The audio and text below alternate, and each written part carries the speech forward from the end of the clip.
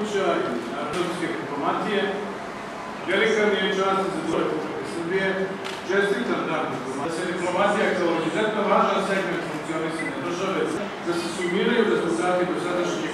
Srpska karijera diplomatija se obdova muzeja srpske diplomatije i ustanovljavanjem svog dana vraća svog istoričnu što je osnovana u 12. veku. Obraz koji je očuvanje znali. Druga oblast to je sećanje na one koji nisu zaboravljeni. Treća oblast koja je